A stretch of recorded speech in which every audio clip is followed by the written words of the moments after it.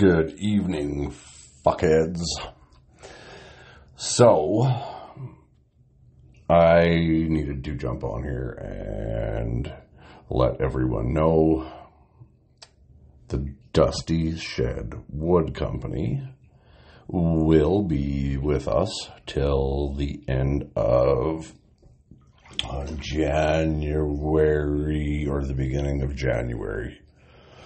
I don't really remember how that conversation went, but so they will be sticking with us for another month or two here, maybe three. I think it's just two though. Um, and for LL Cool T that's out there listening, you can hear the water sloshing around a little bit. And yeah, it is water. I am in the bathtub because I am fucking sore. So I'm having a cooler and a nice hot bath because I was working outside today in this stupid blizzard we've been having. It's like uh, winter was just going nope, nope, nope, nope, nope. And then Halloween rolled around, went past. November 2nd, my mom's 60th birthday would have been, and the fucking winter decided it was coming and coming hard and fast. I am not impressed about it at all. But whatever is what it is. That's what happens where you live where the wind hurts your face and you don't have spiders that can kill you. So I guess you take the good with the bad. I'm not a big fan of the kill me spiders anyway, so. But uh, on one quick more note, touching over to the Dusty Shedwood Company. If you happen to be out around the Teepee Creek area, I believe it's next weekend. Uh, the Teepee Creek does uh, Teepee Creek does a Teepee Creek Cowboy Christmas market. So stop in, see the Dusty Woodshed Company family, buy some stuff, or just pop in, find their booth, go meet them, and see the incredible stuff they do. Um, it sounds like we are going to be doing a giveaway. So, you need to start buying some stuff. It's because the way that it sounds like we're going to do that is for every five or ten dollars you spend at the Dusty Shed Wood Company, you will have a name put in. But when you make your order with them, you need to make sure they know that you heard about them on Tales of a Messed Up Northern Boy and that Bob's Bob sent ya. And another thing that uh, I gotta give a shout out to Dave Welch, even though he is kind of a dickhead, by pointing out that my name as well is Dave. But there was many, many, many of us. Um, we all had nicknames because there were so many of us. It was like Justin's. There were so many Justins kicking around. Something about that Gen X time frame, I guess. I don't know. But to all my Daves out there that are listening. Um, Coxie. Awesome. The Bomb. Well, I shouldn't need to say much more. You know you're the bomb. Then there was Chewy. I don't think Chewy listens though. Chewy probably got stoned and forgot to do this. Because, well, Chewy's a pothead from way, way back. And there's a few more Daves, but I'm just not gonna sit here and name them all off this time. But if you're one of my uh, listeners and you're one of my bros and your name was Dave, except Dave Welch, fuck that guy, then I appreciate you listening. Share, subscribe, kick this stuff out here. Get lots of people listening. We're doing pretty good. Way, way more than I ever thought it was gonna. But apparently, y'all like my fucked up stories. So, I guess we're gonna start on a night where I was with Baby Ray and another person who will call 45. because that's who it was, was 45. And Baby Ray had, I want to say it was a 79 Trans Am with T-tops. It was at the mechanic shop and he couldn't afford to pay the bill, so they were holding on to it for a couple of days. And we got the bright idea that we should try and steal his own car from the mechanic shop because they had it parked outside. Well, Baby Ray had no clue. Me and 45 figured for sure we could get it going. So we get the hood pop, we're messing around with it. And uh, I wish I was a little smarter back then. I knew a little bit more about vehicles than what I do now. Before I could uh, African engineer something to get it going. I don't want to say the N word because if I say the N word, I'm probably going to get canceled. And uh, so we Af- we were trying to African engineer things to get it going, but I didn't have the African engineering knowledge at the time that I did that I do now. Well, me and 45 were in there trying to get this friggin' thing going. Baby Ray disappears. Both of us were like, what the fuck? Where'd he go? We weren't too far from one of our favorite liquor stores, and we were pretty gassed up already. So we figured maybe Baby Ray just went and grabbed some more beers. Well, about five, ten minutes later, me and 45 have decided we're not going to be able to get it fucking going. And uh, 45, we missed one step. That was it. but uh, Baby Ray pulls back in, and he had acquired a one ton dump truck. And that's all I will say about that truck. And we were going to head out to one of our little towns to go and party at because a girl that me and 45 had both seen. Oh, I just air quoted again. And by seen, I meant we had both slept with. And I think Baby Ray figured he was going to get his shot with her.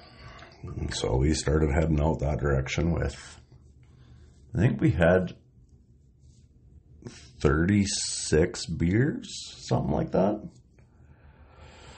So we started heading out of town and we got about 20 minutes, half hour out. And Baby Ray decided he wanted to see if that one ton dump truck would go through a road sign down in the ditch, not realizing there was probably three feet of fucking water in the ditch. So, needless to say, that dump truck stalled out on us, and then I don't think we got it started. But even if we did, we wouldn't have been able to get it out because it was pretty heavy truck and it was pretty fucking wet. So we got the bright idea to grab our beers and start hitchhiking. Well, we're hitchhiking down the road, and uh, Uh, nobody seems to want to pick us up. Probably because we are three relatively drunk males walking down the highway in the middle of the night, a mile or two down the road from a truck in the ditch. And packing like probably a 2 4 beer at that time, maybe a couple more, but it would have been at least a 2 4. Nobody wanted to stop. Nobody wanted to stop. Then all of a sudden, we get out in front of this farmhouse and this kid pulls up next to us in a welding truck. He looks at us and he goes, Where are you boys headed? Told him where we were headed. He said, Well, I'm going home. Hop in. so we hop in. We figure we'll get a little bit closer to where we want to go. And we get into one of the little towns a couple of miles away. And we've got me, 45, and baby Ray piled in the front seat of a regular cab welding truck. He pulls over at the bar, hops out, says, Enjoy the truck, boys. I borrowed it a few hours ago. Well, instead of us being smart and continuing on our way on foot, one of the boys, I believe it was Baby Ray, jumped into the driver's seat. Off we went, and we continued on our way, and we were having a blast. I was sitting bitch, uh, drinking my beers. Baby Ray was drinking. 45 was drinking. I believe we were about another 45 minutes down the road. We had just passed through another small town. And all of a sudden, the two way radio in that truck comes on, and somebody is saying, Get out of that welding truck, you little sons of bitches. I've been chasing you for three hours. Well, I'm way too drunk to be driving and dealing with that. Baby Ray wasn't the greatest of drivers at, at the best of times. Well, one thing I can say about 45 that motherfucker will never turn down a challenge. Never did. So, all of a sudden, I get told, get my left foot over on the throttle. And Baby Ray is going to climb up over top of me. He's steering with my foot on the throttle. After we've turned off the highway on a gravel road and killed all the lights with the first click down on the e brake. So this is going on in the dark. We, me and 45 both knew the road, so we knew it was straight. And Baby Ray climbs over top of me. My foot's on the throttle and Baby Ray was steering as he was climbing over. I took the steering wheel. 45 started climbing over top of me, He took the steering wheel back because he could see and I couldn't. And then once he got himself figured out in that seat, he took the throttle back over. Well, at this time, we hear this radio start going off again. And this guy who we had inadvertently, well, we didn't steal his truck. We took possession of a stolen truck. So we were in the wrong. Comes back on the radio again and starts freaking out. Where did you fucks go? Blah, blah, blah, blah, blah. I know where you're headed. I know where you're headed. There's only one place this highway goes to. So, of course, we don't say nothing. Why incriminate yourself?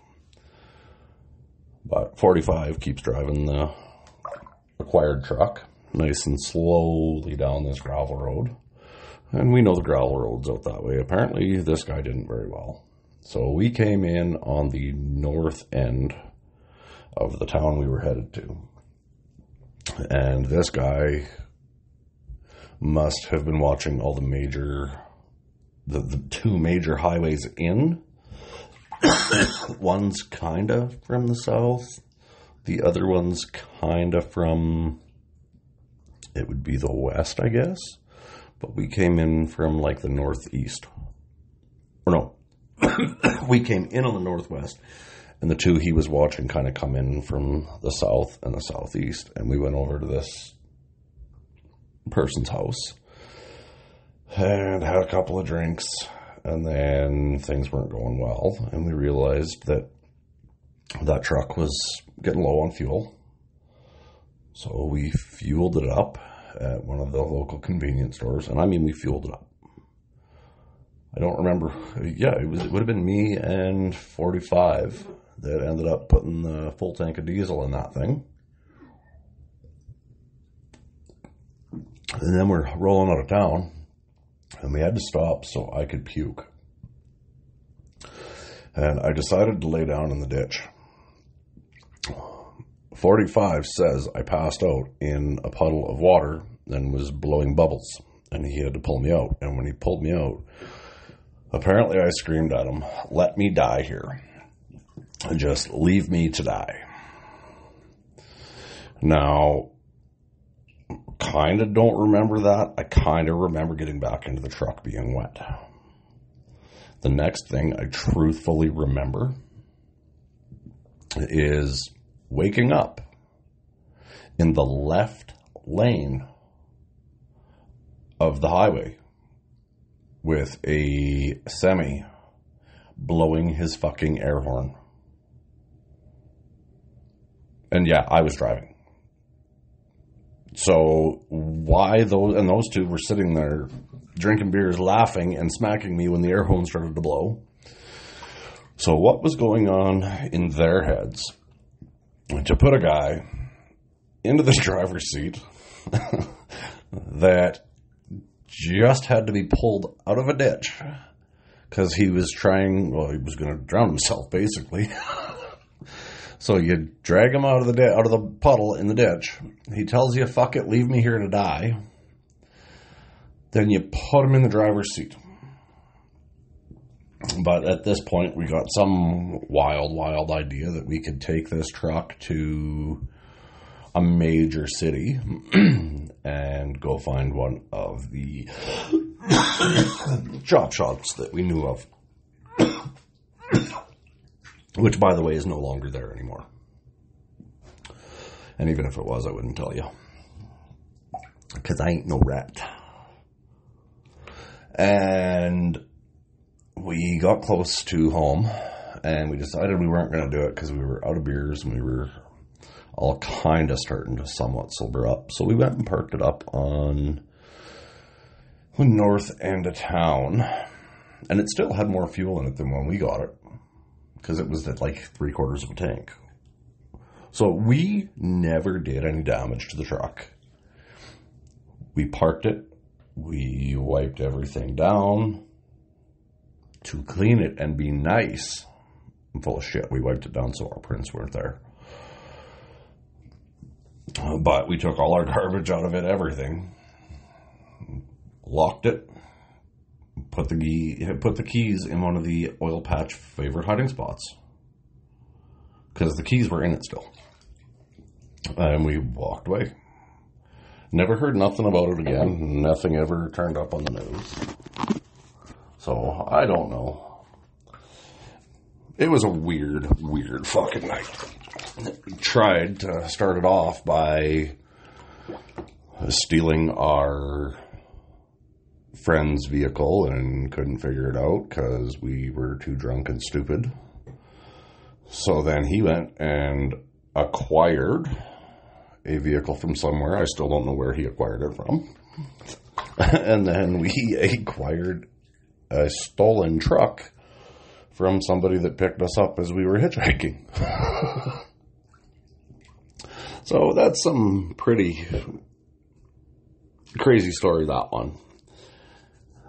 I kind of wish I could get one of those boys with me to recoup some of it because, as I say, I was pretty messed up for the majority of my young years.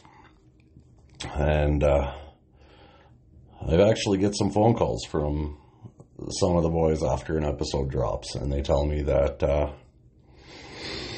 well, that isn't quite how I remember it. And I need to apologize for the quality on that one where I had McQuagmire on with me last weekend. And because of that issue, I didn't have my remote recording session with Waffles' cousin yet. Trying to figure it out. Um, if anybody knows a way to record specific phone calls through an app, a free app, because I'm doing this for fun for you guys and for my mental health. So, if you know a free app that would be good for, well, I want to record a phone call with McQuagmire or Waffles' cousin or Hillbilly or 45 or LL Cool T or Funk or anybody else, then I could do that. Just make the dial the call, hit the record button, do it that way. Then I'm still doing it off my phone. We're still being raw and cheap. So you if you have any ideas for that, you can shoot me an email as always. Tales of a messed up northern boy at gmail.com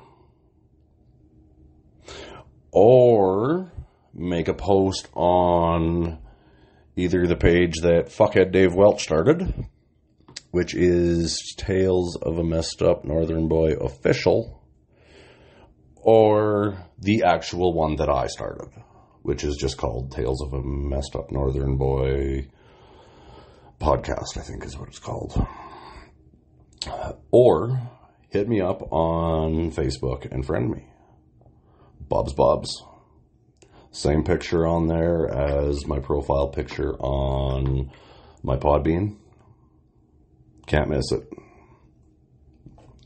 And share the hell out of my stuff. Like the hell out of my stuff. And uh, I know I was doing, I was on a fucking roll there for a while. I was dropping an episode like every two or three days, hey? And then I was like, fuck this.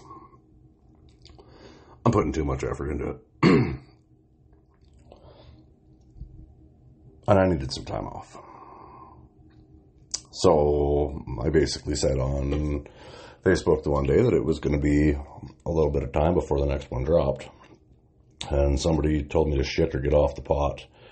And like I tell my brothers over at uh, the Blue Collar Philosophers. And if you haven't listened to them yet, get over there, check them out. Um, like I tell them all the time, because they always say consistency, consistency, consistency. And I understand why they do it, because when they don't drop a new episode on a Wednesday like they're supposed to, I get pissed right off. but I have always said Tales of a Messed Up Northern Boy will be consistently inconsistent. These episodes will drop like turds on my ass. When I feel they need out, they'll drop. So remember, tell me a good way to do that off of an app or, you know, hit me up on the Facebooks and tell me you want to send me a microphone and shit to hook up to my laptop so that I can do those remote ones. I know that's not going to happen. And I don't give a fuck. I'll figure it out one way or another. Because that's what I do. I will survive. All right. So I guess, like I said at the beginning, we have kept our trial sponsorship going with the Dusty Shed Wood Company for a little longer. And we will be doing a giveaway. And it sounds like we're going to be doing it off of a draw basis. So get over there, check something out, buy a set of chopsticks. That should get your name in at least once for the draw. But remember, when you place your order, who'd you hear it on? Oh, I heard one of you. Russ just said it. I think Papa Large did. And, uh, yeah, on that note, I guess I'll let you know. Don't walk a mile in my shoes, because that won't fucking impress me.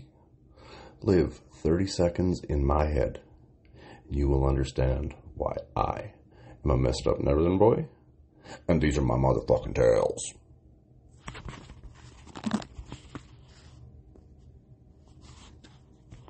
Oh, and one more thing. Go check out Tom MacDonald's new song. The new one that just dropped. I believe it's called Soldier. It's a gooder. I love Tom MacDonald. If anybody knows Tom MacDonald, tell him to listen. I know nobody can tell him to listen. But he, I'd love to have him do intro music for me because that would be fucking wicked. All right. Have a good night. Enjoy your weekend.